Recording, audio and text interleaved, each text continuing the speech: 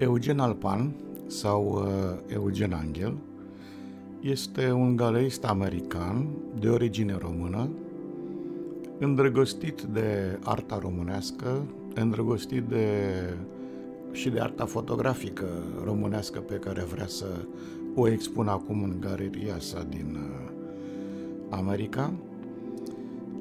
Cu oarecare greutate am uh, reușit să beau o cafea cu domnia sa și să-l întreb niște lucruri în cadrul unui micro-interviu uh, de pandemie. Atâta s-a putut face, milioane de scuze pentru calitatea care este. Eu am vrut să surprind omul și gândurile sale, fără să îl deranjez prea tare și am încercat cât am putut să fac asta. Vă mulțumesc foarte mult că sunteți cu mine și haideți să-l auzim. Merită, este extraordinar. Hai să-l promovăm de la România. Adică prin... și-a cumpărat un aparat de fotografia vechi Uh-huh. cu care a făcut 50 de expuneri pe fiecare imagine ca să iasă efectul ăsta de, Uh-huh. de, de gravură extraordinară. E extraordinar, da. E Și extraordinar. astea sunt printuri. Asta Astea m-am, sunt mi-am dat seama că sunt. printuri puse într-un cotor. Dar Da. sunt printuri manuale, adică făcute de el la printerul lui. Uh-huh. Pe hârtie de fine art, Se vede, se vede calitatea, nu... Foarte, foarte frumos. alburi, griuri și un ton deosebit și o imagine complet specială. Care mie îmi place foarte mult. Pentru mine imaginea asta e unică, n-am mai văzut așa ceva. Vezi? Nu știu dacă a mai făcut cineva, nu sunt un specialist în fotografie. Acum nu mai pot să mai fi specialist în nimic, că e atât, Da, e sunt adevărat. atât de multe E lucruri adevărat. care E adevărat. circulă, se fac în fiecare zi și E adevărat. nu mai știe nimeni nimic. Asta e adevărat. Foarte, foarte, foarte. De ce sunteți necunoscut, domnule?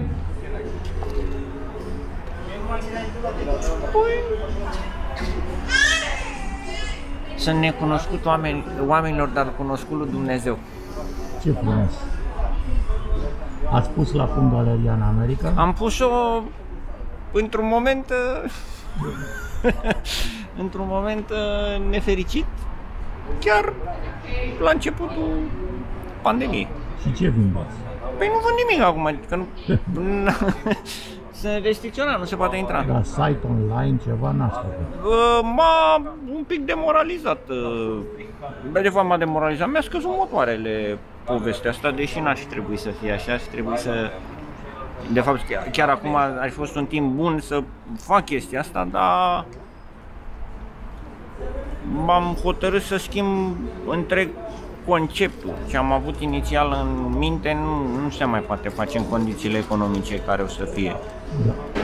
nu se mai poate face. Și cred că o să, o să ia tot o turnură un pic uh, nouă. Nouă. Adică negativă. Nu știu. Nouă. Va fi ceva unde, în, în domeniul ăsta, va fi ceva unde uh, nimeni nu va avea nicio experiență. E un, re, e un restart. Acum poate să apară niște niște oameni uh, norocoși care să facă care să facă o, o treabă foarte bună. Pentru că uh, hai să fim serioși. Formula asta de a vinde artă piața de artă, mă rog, avem un limbaj de lemn incredibil, uh, nu mai funcționa oricum, adică era și toată lumea copia un model care modelul întotdeauna e bun celui care îl face. E, uh, comercial vorbind, îmi pare rău că vorbesc din punct de vedere comercial. Mișcările astea cu negri v-au afectat sau vor schimba cursul artei? Credeți? Cu rasismul, cu antirasismul, cu... Nu, nu, dar nu, nu, asta e o, asta e o furtună într-un pahar cu apă. Credeți? Absolut. Adică ea are, ea are o, o, val, o, o valență politică și politizată, dar nu reprezintă absolut deloc uh, comunitatea nu, nu are nimic de a face cu, cu afroamericanii negri, dacă vreți să le spunem. Vedeți, da? N-ați văzut mișcări de masă printre la dumneavoastră? Ba da. printre... Ba da. Da. Asta nu înseamnă că ei reprezintă negrii din Statele Unite. Înțeleg. Reprezintă o parte, o parte care și are drepturile să facă, să protesteze, să, nu la nivelul ăsta îmi pare rău, asta mi se pare, modul la care s-a făcut mi se pare stalinist, dar poate că America trebuie să treacă și cu chestia asta. Mhm.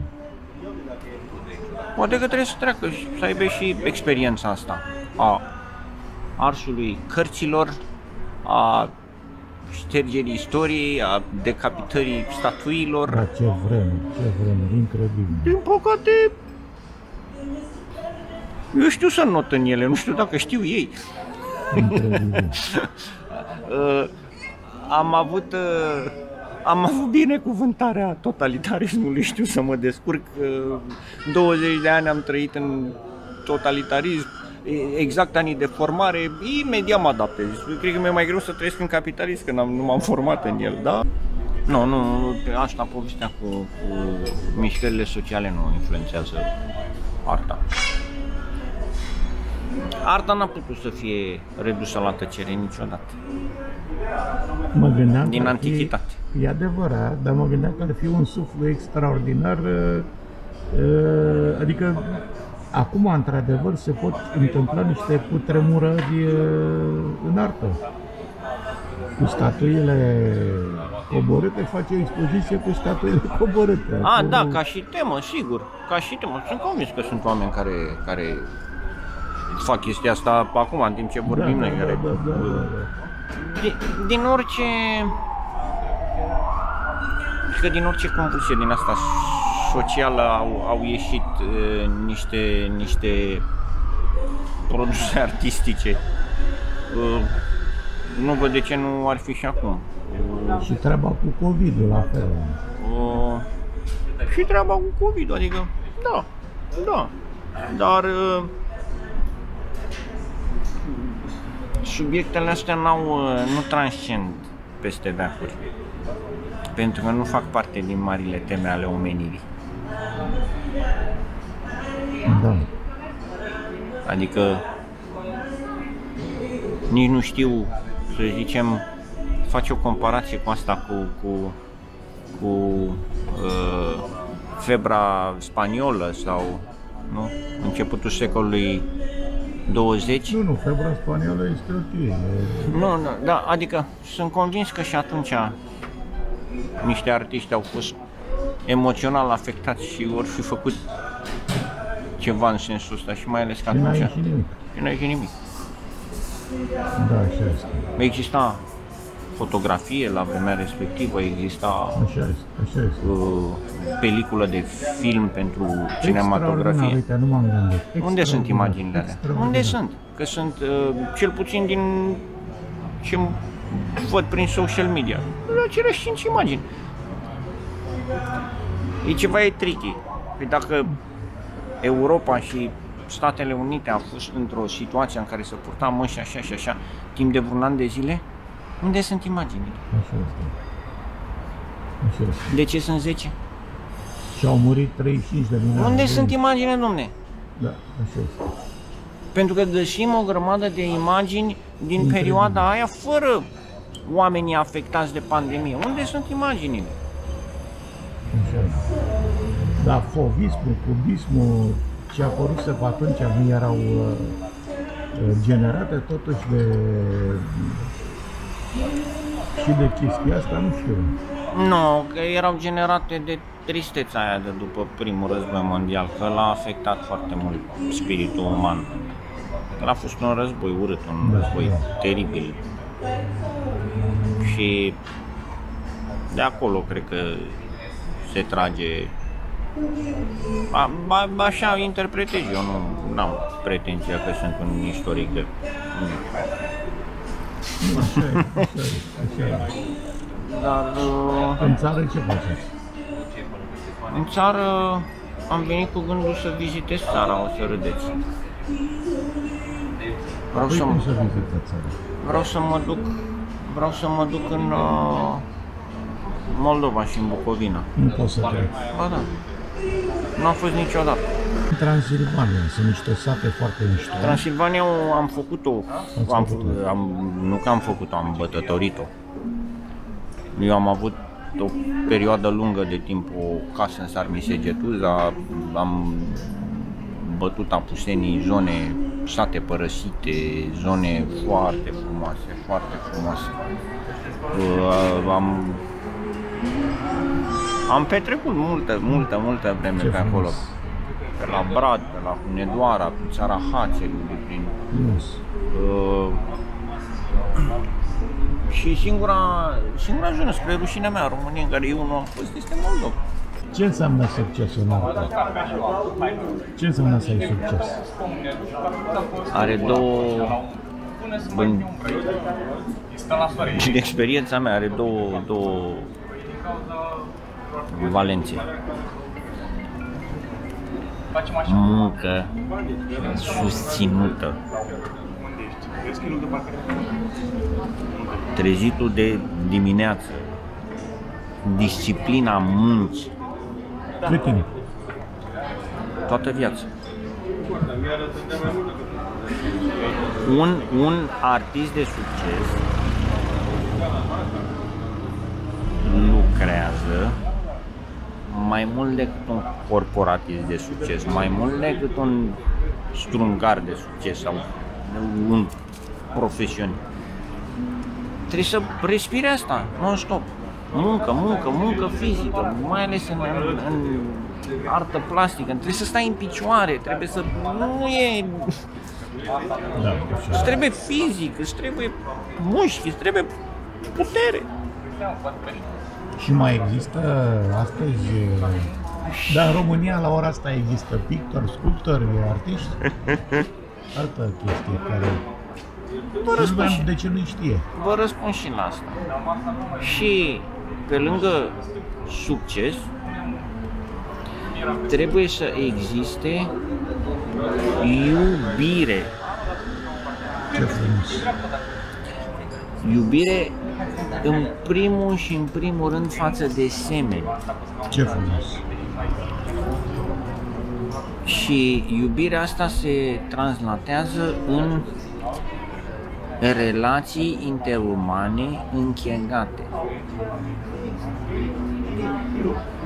Nu există artist de succes care să fi fost acru, scârbit, acid, Ce frumos. uh, neplăcut. Nu se poate. Ce frumos spus. Ce frumos spus. Nu se poate. Pentru și, și nu numai că nu se poate. E anus contra naturii. Păi dacă tu spui că faci ceva frumos pentru umanitate, cum poți să fii acru față de semenul tău? Ce frumos spus. Nu se poate. frumos Ceva, ceva n-are cap și coadă Ce frumos. în povestea asta. Păi, cine nu-și asumă munca, caută succesul, de ce succes? În orice domeniu. Cum poți să ai succes nemuncind? Dom'le, ăștia și când au furat economia națională, au muncit, domnul, domnul Dinu. Oamenii ăștia, nu pot să spun cu subiect și cu nume și prenume, da. Vehiculează ideea asta, corupție. Dom'le, și corupția asta e cu munca dracu. Păi sunt budliți de neau, să nu vină să te salte, să-l șpăguiești pe ăla, să, să nu știi cum. Ai doar că e muncă. Ce frumos spus. Ce Noi și hoții să urce în autobuz, trebuie să trăiască dimineața, să ducă când e înghesuială, când pleacă lumea până în oraș, să se bage între ei, că nu poți să fur dintr-un autobuz în care e o persoană. Da, așa e. Că trebuie să te preocupe lucrul ăla.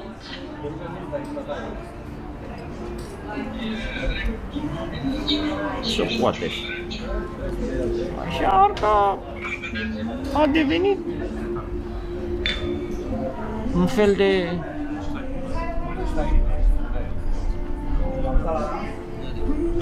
pentru cei mai mulți e, e, e Bună, te rog, la o altă întrebare. Eu am rămas acolo, eu am lucrat ca lider.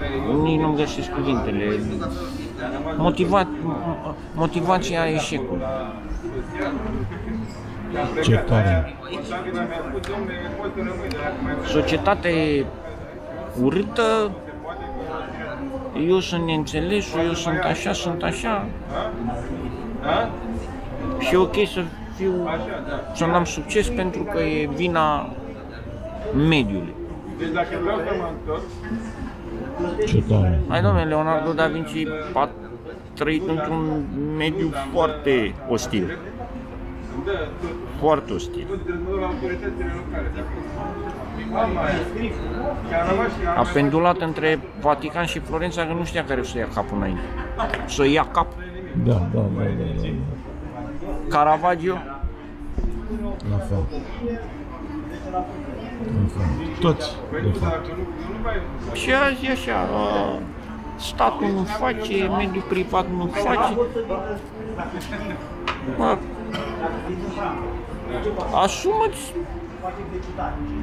lucrul ăsta, că ți-ai ales o carieră ca să o faci de succes, nu ca să le spui părinților care te-au ținut uh, în Franța la nu știu ce Dar știți câte facultate master. facultăți de artă există în România la ora asta? Vreo 14. Academii de artă. Știți câți oameni termină sculptură, pictură cu licență sau cu doctorat? Vreo 6-700 pe an. Eu știu că termină în Statele Unite. Da. 20 de mii. 20 de mii pe an? 20 de mii. Incredibil. Incredibil. Incredibil. 20 de mii termină. Veneau pe an. dacă a doua zi, pandemia asta, Nu mai zic nimic. Da, din nou, mulți se duc și Dar muncesc care e în- cheia succesului? Numai munca? munca și dragoste. Munca și dragoste față de oameni. Ce frumos spus. Nu știu altă. Cheia succesului în viață e dragostea. Auzi, dar eu unde trebuie? Trebuie să mă duc la autorități? Să ai Ce inima frumos. deschisă, să ai... Dar trebuie să mă duc cu translatul. E una dintre cele mai mari forțe din univers. Ce frumos spus. Dacă nu cea mai mare forță din univers.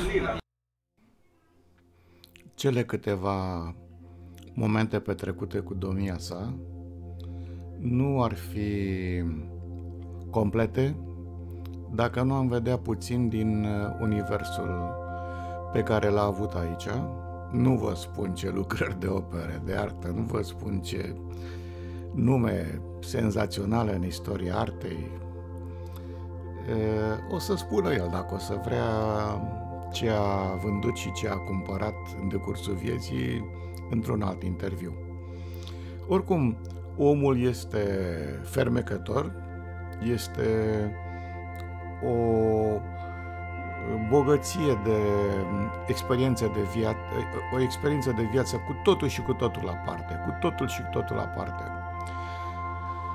Dacă o să aibă timp și dacă o să poată și dacă astrele vor dori, vom mai continua acest interviu. Mi se pare o prezență extraordinară. Și vouă vă mulțumesc că ați stat împreună cu mine și să vedem puțin universul lui Eugen Alpan, lui Eugen Angel.